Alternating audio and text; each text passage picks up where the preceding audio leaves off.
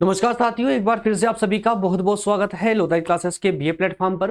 दोस्तों BA BSc BCom BBA बीएचएससी BLLB और बीसीए के सभी सेकेंड ईयर वाले छात्रों के लिए फाउंडेशन कोर्स के अंतर्गत इंग्लिश लैंग्वेज और फाउंडेशन वाले सीरीज़ में दोस्तों हम जिन 350 क्वेश्चन आंसरों पर डिस्कस कर रहे थे या जो सीरीज़ हमने प्रारंभ की थी, उसके छह लेक्चर अभी तक हो चुके थे और सातवें लेक्चर पर दोस्तों आज हम डिस्कस करने वाले हैं, जिसमें कि इंपॉर्टेंट जो सेकेंड यूनिट में जो आपकी अनसीन पैसेज है, उस अनसीन पैसेजेस के सेकेंड यूनिट में जितने भी महत्वपूर्ण क्वेश्चन आंसर हो सकते हैं, उन पर हम डिस्कस करेंगे।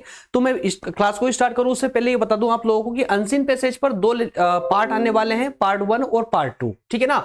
पार्ट वन और पार्ट टू तो इसमें कुल मिलाकर के हम पाँच पैसेजेस पर बात करेंगे, जिनमें से दो पैसेज पर आज हम चर्चा करने वाले हैं पार्ट वन के अंतर्गत, ठीक है ना? वन और टू पर। उसके बाद में जो लास्ट की तीन पैसेजेस है, उस पर हम नेक्स्ट वाले पार्ट में चर्चा करेंगे। क्लियर है?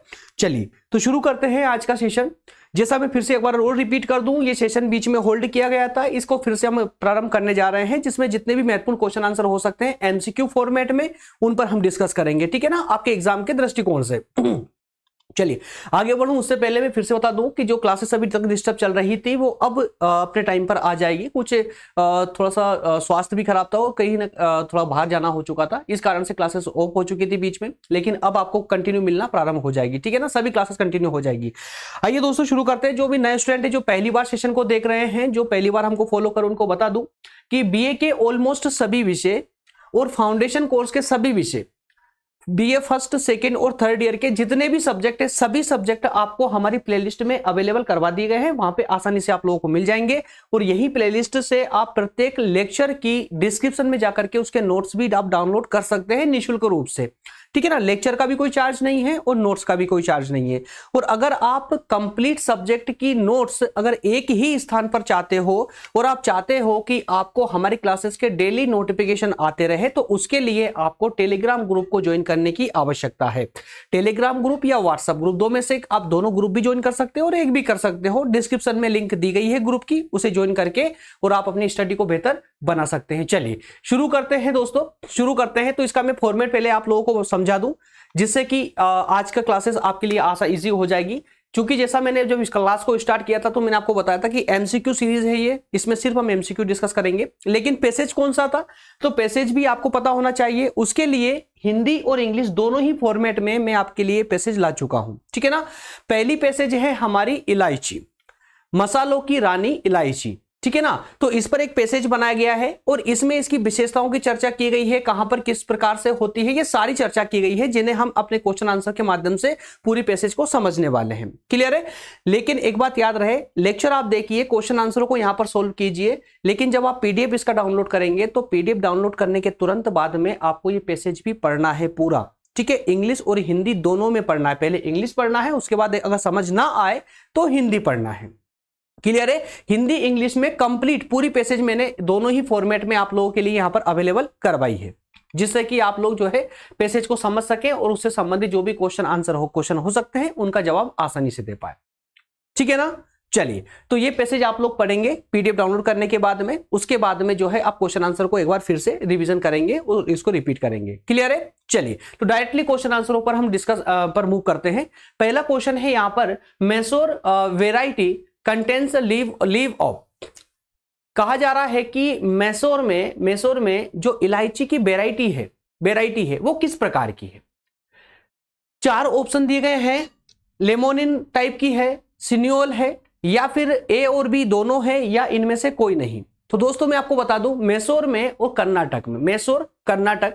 यहाँ पर जो है इलायची की विशेष प्रजाति पाई जाती है। या कहें कि सबसे ज़्यादा जो क्वांटिटी होती है, अगर हम कंटेंट्स की बात करें तो सबसे ज़्यादा केरल में पाई जाती है इलायची। भारत में बात करें तो। और भारत इलायची के उत्पादन के मामले में और एक्सपोर्ट करने के मामले में दुनिया का प्रथम नंबर पर आता है देश।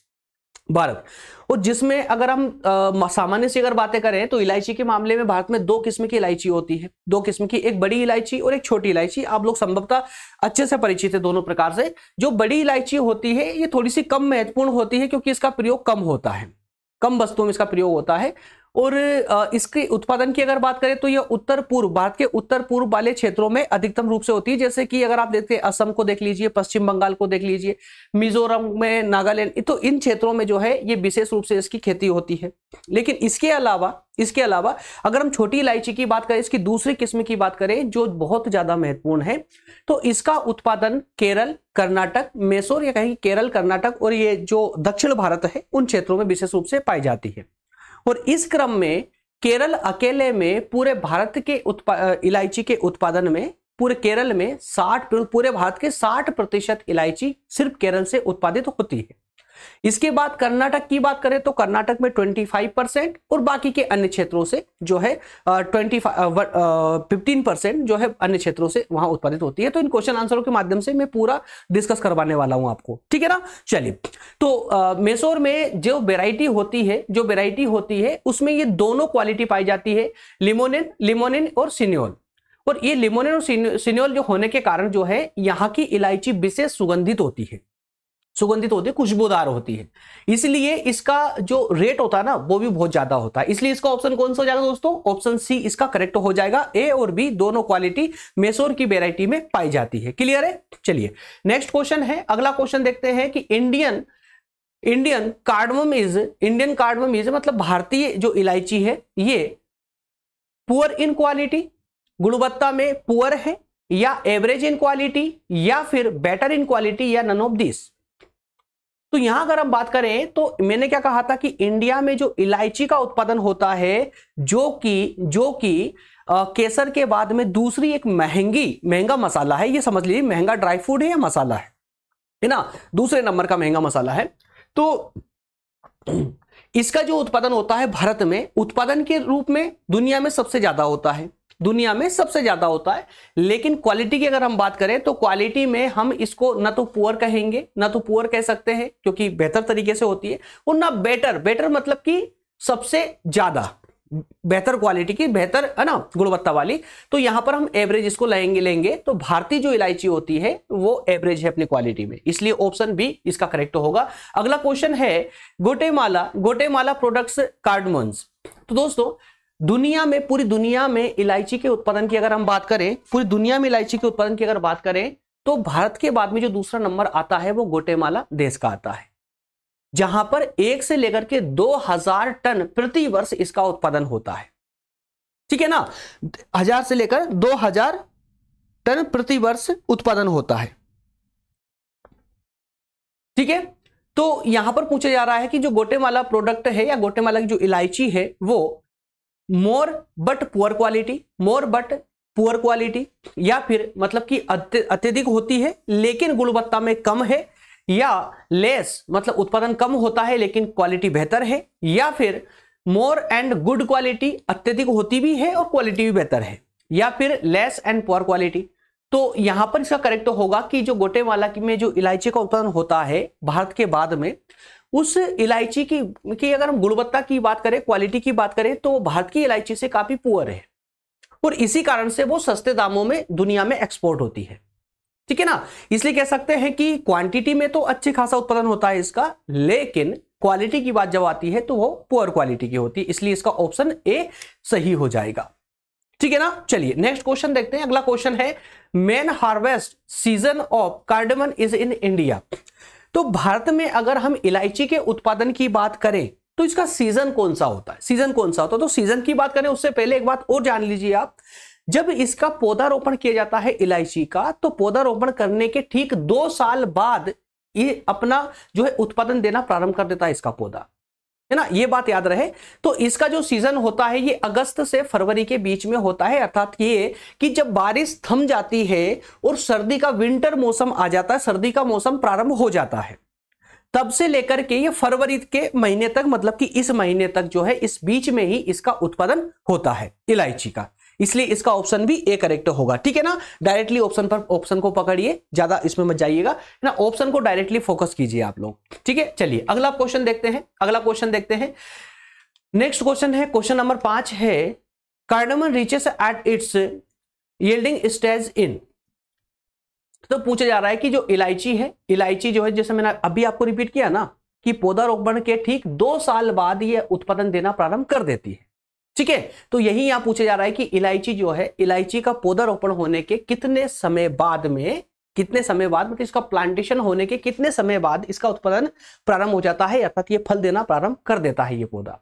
तो ऑप्शन है इमीजिएटली या डिपेंड अपॉन द प्लांटेशन जो प्लांटेशन किया जा रहा है, उसके ऊपर निर्भर करता है या फिर एक साल बाद वन आफ्टर वन ईयर या फिर आफ्टर टू ईयर तो ये आफ्टर टू ईयर वाला जो ऑप्शन है आपका, ये करेक्ट हो जाएगा, अर्थात ऑप्शन डी करेक्ट हो जाएगा।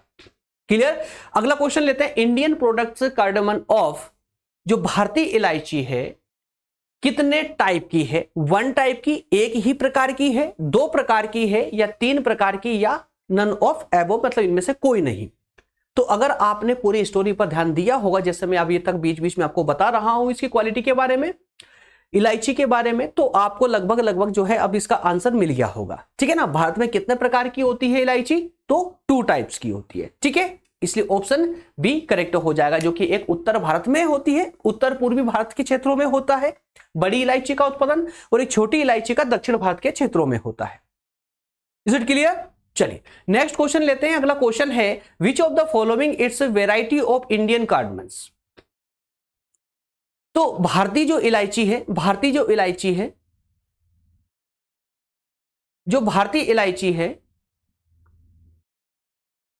इसके क्षेत्र पूछा गया है। तो देखिए, मालाबार कार्डमन या मैसूर कार्डमन। ठीक है, देखिए ऑप्शन दिया गया है आपको, भारतीय इलायची भारतीय इलायची की जो प्रजातियाँ होती है ना तो वो कितने प्रकार की होती है? मैंने अभी टाइप नहीं बोला है। ये बेसिकली इसके दो टाइप है, एक मालावार है और एक मैसोर है। ठीक है, इसके जो टाइप है, माफ़ कीजिएगा, जो इसके टाइप है, एक छोटी और एक बड़ी इलायची, जो कि उत्तर पूर्वी भारत और दक्षिण भारत में जो अलग अलग प्रजाति में पाई जाती है।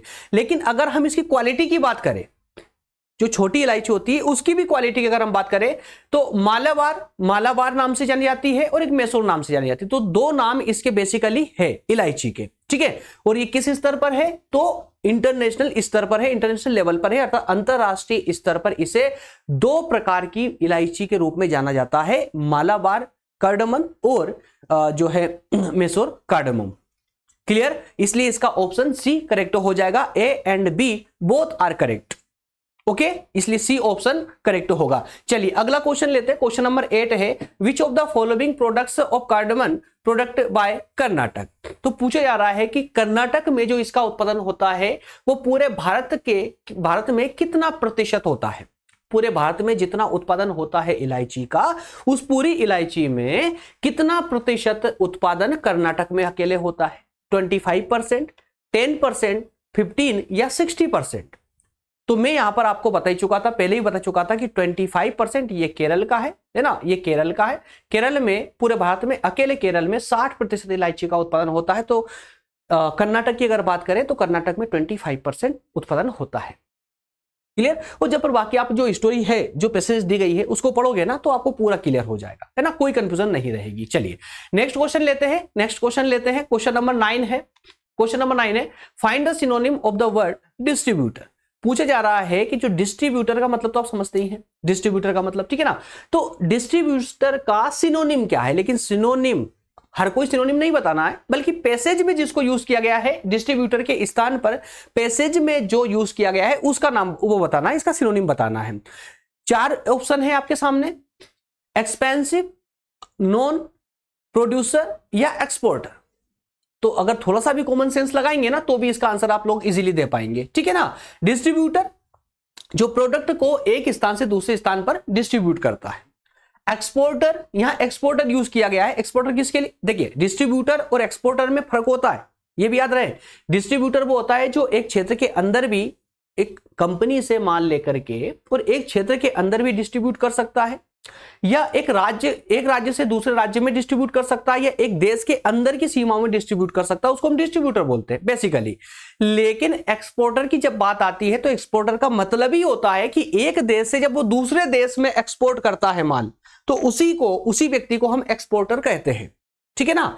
एक देश की सीमा से बाहर माल को भेजना होता है, उसको एक्सपोर्टर बोलते हैं। तो इस पैसेज में इलायची के, जो हम डिस्ट्रीब्यूटर की बात करते हैं ना तो ये एक्सपोर्टर एक्सपोर्ट की बात करते हैं, दूसरे देशों में भेजने की बात करते हैं, इसलिए यहाँ पर एक्सपोर्टर शब्द यूज़ किया गया है, इसलिए ऑप्शन डी करेक्ट हो जाएगा। चलिए नेक्स्ट क्वेश्चन लेते हैं। इस पैसेज का नेक्स्ट है और लास्ट क्वेश्चन है, ठीक है? इस इलायची वाली पैसेज का लास्ट क्वेश्चन है। क्या बोलता है? इसमें सिनोनिम पूछा गया है फ्रेग्रेंस का। फ्रेग्रेंस का, ठीक है ना? फ्रेग्रेंस का सिनोनिम पूछा गया है। चार ऑप्शन है अरोमा वेराइटी कंटेंस या हेंस अब फ्रेग्रेंस का मतलब अगर आपको पता होगा तो इजीली आप इसको कर ले जाएँगे। देखिए फ्रेग्रेंस का हिंदी अनुवाद होता है सुगंध। माफ़ कीजिएगा, खुशबू। क्या होता है? खुशबू। पेन नहीं चल क्या बात है? इसका सिनोनिम होता है खुशबू। फ्रेग्रेंस का फ्रेग्रेंस का हिंदी अर्थ होता है खुशबू। ठीक है, अब यहाँ अरोमा का मतलब क्या हो रहा है दोस्तों? अरोमा का होता है सुगंध। ठीक है ना? सुगंध। इसका हिंदी अर्थ होता है सुगंध। बेटी शायद एंड हो रही इट्स ओके तो अरोमा का होता है सुगंध, इसलिए इसका ऑप्शन ए करेक्ट हो जाएगा। क्लियर है ना? तो ये फ़र्स्ट पैसेज में ये दस क्वेश्चन है, मात्र ये दस क्वेश्चन लगा लीजिए। इस, ये पैसेज अगर आपके एग्ज़ाम में आती है तो एक भी क्वेश्चन आउट नहीं होगा। पूरे विश्वास से कहता हूँ, इन्हीं दस क्वेश्चनों में से आपको क्वेश्चन देखने को मिल जाएँगे। ठीक है? चलिए नेक्स्ट देखते हैं पैसेज अनसीन पैसेज सेकंड में तो सेकंड दोस्तों, जो सेकंड पैसेज है सेकंड पैसेज का मैं थोड़ा सा आपको परिचय करवा दूँ। सेकंड पैसेज और कुछ नहीं, बल्कि विज्ञान और धर्म के संबंध इसमें, के बीच में बताए गए हैं कि विज्ञान और धर्म के बीच में किस प्रकार के संबंध रहे हैं। प्राचीन समय में जब धर्म आरूढ़ था, है ना? जब धार्मिक प्रथाएँ या रूढ़ीवादिता चली, चला करती थी तो उस समय जब विज्ञान आया साइंस ने एंट्री की समाज में तो उसने किस प्रकार से संघर्ष करके डूबे हुए लोगों को उभारने का काम किया है? ठीक है तो इस प्रकार का अर्थ इसके अंतर्गत समझाया है और सेम कंडीशन है पैसेज में इंग्लिश और हिंदी दोनों वेरिएंट डाले हैं मैंने, दोनों प्रकार से ट्रांसलेट करके यहाँ पर डाला है ताकि आपको पढ़ने में और समझने में दिक्कत ना आए। पैसेज को सेम कंडीशन है फ़र्स्ट वाली पैसेज की, कि क्वेश्चन लगाने से पहले आप लोग पूरी पैसेज को एक एक करके और पूरे पॉइंट इसके पढ़ेंगे। समझेंगे इसको, उसके बाद ही आप क्वेश्चन आंसरों को का रिवीजन करेंगे। अगर आप पैसेज को पढ़ने के बाद क्वेश्चन आंसर का रिवीजन करते हैं तो आपको बिल्कुल भी समस्या नहीं आएगी। ठीक है ना? चलिए सेकंड पैसेज से आप कुछ क्वेश्चन लगाते हैं। वही दस क्वेश्चन हम सेकंड पैसेज से लगाएँगे, जिससे कि आपकी कंफ्यूजन पूरी तरह से समाप्त हो जाए। ठीक है? और एक बात और, अभी फ़िलहाल हमने इंग्लिश लैंग्वेज की अगर बात करें तो डिटेल क्लासेस हम ले रहे थे। लेकिन आपके एग्ज़ाम को देखते हुए हमने डिटेल क्लासेस को होल्ड करके और ये एमसीक्यू सीरीज़ प्रारंभ कर दी। क्यों? क्योंकि एग्ज़ाम में आपके एमसीक्यू फॉर्मेट में क्वेश्चन आंसर आते हैं। तो इसलिए ज़रूरी था कि पहले हम इस एमसीक्यू सीरीज़ को कंप्लीट करवा दें। जितने भी महत्वपूर्ण, लगभग 350 क्वेश्चन आंसर हम इसमें देखने वाले हैं इंग्लिश वाले पार्ट में। तो इस इंग्लिश लैंग्वेज में साढ़े तीन सौ क्वेश्चन आंसर लगाएँगे। तो 100 परसेंट आपके क्वेश्चन आंसर एग्ज़ाम में भेट जाएँगे। ठीक है? और हर चैप्टर के मैं अलग अलग क्वेश्चन आंसर लेके आ रहा हूँ ताकि आपकी कंफ्यूजन मतलब मिक्स ना हो अलग अलग पार्ट मिक्स ना हो जाए, हर पार्ट के, हर पार्ट के अकॉर्डिंग आप तैयारी कर पाए। ठीक है? लेकिन इसको कंप्लीट होने के बाद में इसकी डिटेल क्लासेस भी लेंगे, वो भी प्रारंभ करेंगे। तो अगर आप विस्तार से पढ़ना चाहेंगे तो बिल्कुल उसमें स्वागत है आप लोगों का, वो भी हम इसको विस्तार से भी पढ़ाएँगे। ठीक है ना? चलिए तो सेकंड पैसेज है आपकी सेकंड पैसेज का पहला क्वेश्चन है सेकंड पैसेज का पहला क्वेश्चन है तो what is the reason for man worship the forces of nature पहला क्वेश्चन पूछता है, पहला क्वेश्चन पूछता है कि मानव की प्रकृति की पूजा करने के पीछे क्या कारण थे? मानव प्रकृति की पूजा करता था प्राचीन समय में, उसके पीछे कारण क्या था? क्यों करता था? तो देखिए, दोस्तों, जब पहली बार मानव पृथ्वी पर आया तो उसने क्या देखा? प्रकृति का, आप सोच के देखिए, प्रकृति का किस प्रकार का रूप देखा होगा? तो बहुत ही विकराल रूप उसने सबसे पहले फेस किया। बहुत ही घातक रूप देखा उसने, विध्वंसक रूप देखा प्रकृति का। है ना, हर कहीं भूकंप आया करता था ज्वालामुखी फटा करती थी। ठीक है, बारिश, बरसात होती थी तो इतनी भयानक होती थी कि कई महीनों तक बंद होने का नाम लेती थी। धूप गिरती थी बहुत भयानक रूप से। तो कई प्रकार की प्राकृतिक आपदाएँ उस समय आया करती थी, क्योंकि पृथ्वी जो थी अपना संतुलन बना रही थी उस समय। ठीक है ना? तो इस संतुलन के दौर में प्रकृति ने मानव को बहुत ज़्यादा प्रताड़ित किया, जो पहले जो प्रारंभ में मनुष्य आया। तो वो प्रकृति से घबराया। वो प्रकृति से घबरा करके ही वो प्रकृति की पूजा करने लगा। प्रकृति की पूजा में जैसे सूर्य की पूजा करने लगा पेड़ पौधों की पूजा करने लगा, चट्टानों की पूजा करने लगा, नदियों की, झरनों की पूजा करने लगा, ठीक है ना? इस प्रकार से प्रकृति के जितने भी तत्व उन सबकी पूजा करने लगा। तो किस कारण से पूजा की थी उसने? डर के कारण, ठीक है ना? तो यहाँ पर ऑप्शन दिए गए हैं होली स्क्रिप्चर्स होली जो आपकी पवित्र किताबें होती है उन, वो सिखाती है मानव को, वो कहती है या वो दबाव डालती है कि आप प्रकृति की पूजा करें, या, है ना? तो ये तो बिल्कुल भी नहीं था, क्योंकि जो पवित्र ग्रंथ थे, ये तो बाद में आए। उसके बाद में worship elevate the liberates the human spirit and minds तो ये ये भी बिल्कुल आप सही हो सकता है, क्योंकि जो वर्शिप होती है, जो पूजा होती है, ये मानव के मस्तिष्क, मस्त, मन और मस्तिष्क दोनों को ही जो है पवित्र बनाती है, उसको प्रगति की ओर धकेलती है। ठीक है? तो इसलिए इसका ऑप्शन बी करेक्ट हो जाएगा। इसका ऑप्शन बी करेक्ट होगा। ठीक है? तो मानव मानव जो है, मानव एक तो उसने प्रकृति की पूजा डर के कारण प्रारंभ की। लेकिन उसी समय में कुछ ऐसे विद्वान लोगों का भी जन्म हुआ, जिन्होंने पवित्र ग्रंथों की रचना भी की और लोगों को जागृत भी किया और लोगों को वही लोग जागृत कर पाए थे उस समय के, जिन्होंने प्रकृति और स्वयं स्वयं के बीच का जो संबंध था, उसको स्थिर बना लिया था। ठीक है ना? तो ऐसे लोगों के द्वारा लोगों को क्या किया गया? लिबरेट किया गया। ठीक है? पूजा करने के लिए, जिससे मानव का मन और मस्तिष्क दोनों ही शांत होकर के प्रगति की ओर अग्रसर हो सके। इसलिए इसका ऑप्शन बी करेक्ट हो जाएगा। अगला क्वेश्चन है अकॉर्डिंग टू द पैसेज जो ये पैसेज है, इसके अनुसार साइंस और रिलीजियस मतलब कि विज्ञान और धर्म, दोनों क्या है? जरा समझिए दोनों का। तो इमेजर इमेज इमर्ज माफ़ कीजिएगा emerge out of the fear of man तो इन दोनों का ही पहला ऑप्शन कह रहा है कि दोनों का ही उद्भव मानव के डर के कारण हुआ है, विज्ञान और धर्म का, या फिर emerge from the desire of man worship forces of of nature या फिर employ different method of inquiry तो यहाँ पर जो थर्ड ऑप्शन आपको दिख रहा है ना ऑप्शन सी जो दिख रहा है इंप्लॉय डिफरेंट मेथड थोड़ा सा अगर पूरा पॉइंट पढ़ेंगे ना, थोड़ी सी कंफ्यूजन आएगी आपको क्या यहाँ पर इंप्लॉय शब्द कहाँ से यूज़ कर लिया? लेकिन आप ध्यान दीजिए method of different different method of quality पर। Different method of inquiry different method of inquiry देखिए, कहे ये रहा है क्वेश्चन पर ध्यान दीजिए क्वेश्चन क्या बोल रहा है कि इस पैसेज के अकॉर्डिंग साइंस एंड रिलीजियन जो है, इन दोनों में किस प्रकार का संबंध है? तो ये दोनों एक दूसरे पर निर्भर है। बेसिकली बिल्कुल ये एक दूसरे पर निर्भर है, कोई डाउट नहीं है। लेकिन दोनों के नियम अलग है, दोनों की मेथड अलग है। अगर हम बात करें विज्ञान की साइंस की मेथड की तो साइंस की मेथड बेसिकली क्या है? अवलोकन करना, अनुभव करना, उपयोग करना, है ना? ये विज्ञान के नियम बोलते हैं। वहीं अगर हम धर्म की बात करें तो धर्म का नियम क्या बोलता है? आस्था, विश्वास, ठीक है? अंतर्ज्ञान।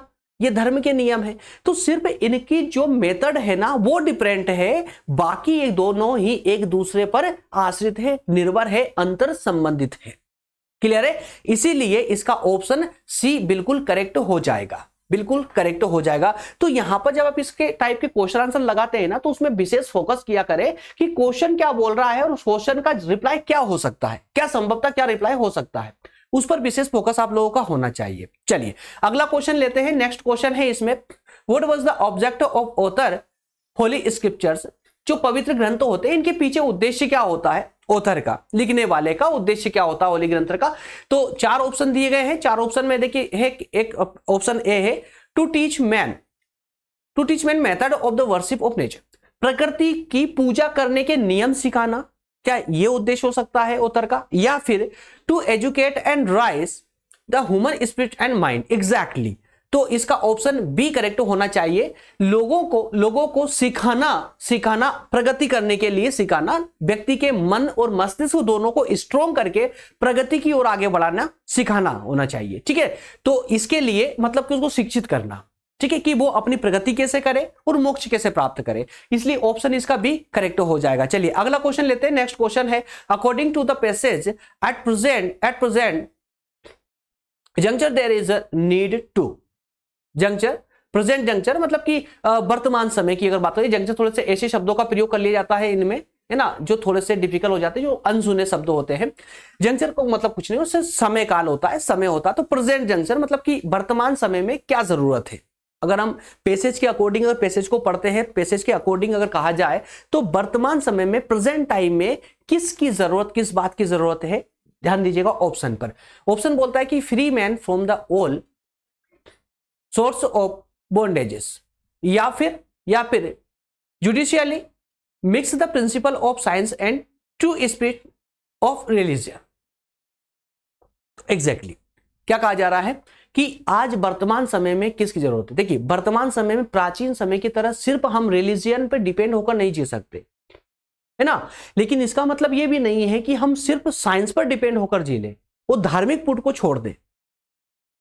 क्योंकि साइंस जहाँ खत्म होती है, धर्म की शुरुआत, अध्यात्म की शुरुआत की, वहाँ से शुरुआत होती है। है ना? साइंस किसी चीज़ को जब एंड नहीं कर पाता है तो वो भी धर्म का सहारा लेता है। और इसी कारण से धर्म आज भी जीवित है इस दुनिया में।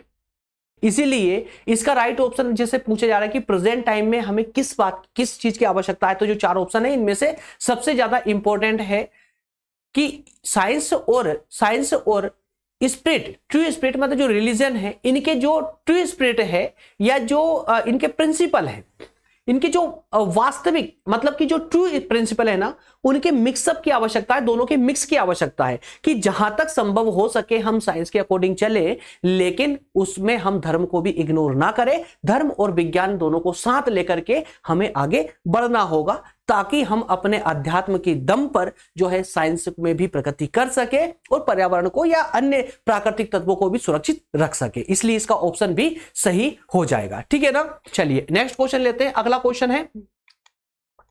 नेक्स्ट क्वेश्चन है what it is said the passage ये पैसेज जो है क्यों कहता है कि science emerge as a saviour of mankind कि आ, कहने का अर्थ ये क्वेश्चन बोलता है कि ये पैसेज ऐसा क्यों कहता है कि विज्ञान व्यक्ति के मानव के मानव के सेवियर के रूप में उभरा है मतलब कि उद्धारकर्ता के रूप में उभरा है। ऐसा क्यों कहता है? जी हाँ पैसेज में कहा गया है कि जब प्राचीन समय में सिर्फ़ धर्म आरूढ़ था या धर्म ही पूरी तरह से जो है विस्तृत था या फैला हुआ था और मानव जो है अपने जीवन को सिर्फ़ धर्म पर आधारित होकर जीता था, उस समय विज्ञान ने एंट्री की, है ना, मानव के जीवन में और विज्ञान ने एंट्री तो की एंट्री करके और व्यक्ति को बचाया, ठीक है सेव किया। तो ऐसा क्यों कहता है ये? इसलिए कि science takes resource to progressive mass toward perfection कि विज्ञान की जो रिसोर्सेस है, ये व्यक्ति को परफेक्शन मतलब पूर्णता की ओर ले जाता है। इसलिए या फिर science is incline toward reason and rationality तर्क, क्योंकि विज्ञान विज्ञान विज्ञान किसकी ओर झुकाव है? विज्ञान का झुकाव किसकी ओर है? रीजन मतलब तर्क और रीजनलिटी अर्थात तर्क संगतता ठीक है? तो इसलिए या फिर man was bound in chain by religious orthodoxy exactly क्या कहा जा रहा है? देखिए, सही ऑप्शन मिल चुका है। भैया, विज्ञान को विज्ञान को उद्धार करता क्यों कहा गया है? मानव का उद्धार करता क्यों कहा गया है? वो इसलिए कहा गया था क्योंकि विज्ञान के आने से पहले मानव जो है ना, जो रिलीजियस ऑर्थोडॉक्सी के साथ में पूरी तरह जकड़ा हुआ था।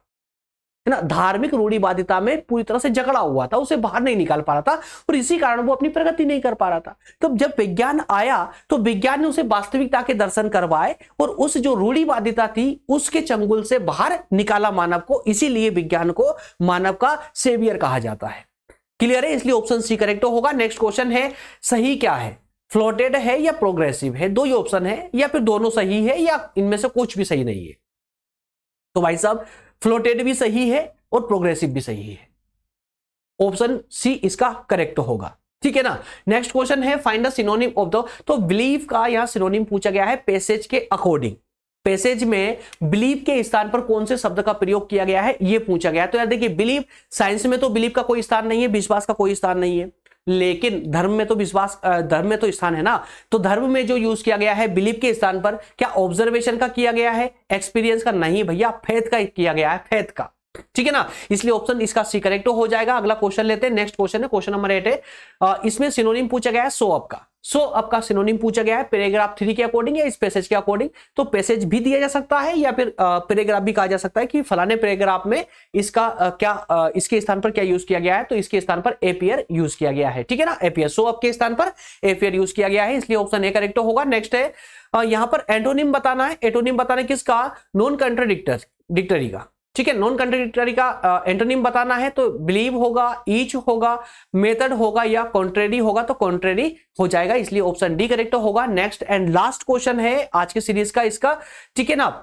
रेस्ट्रोगेशन रेस्ट्रोगेशन का एंटोनिम बताना है आपको। फ्लोट प्रोग्रेस ट्रूथ या लिबरल तो ये प्रोग्रेस होता है। ठीक है ना? प्रोग्रेस होगा। एंटोनिम प्रोग्रेस होगा। ठीक है ना? प्रोग्रेस प्रगति। ठीक है? इसका मतलब होता है अवरुद्ध कर देना, रोक देना।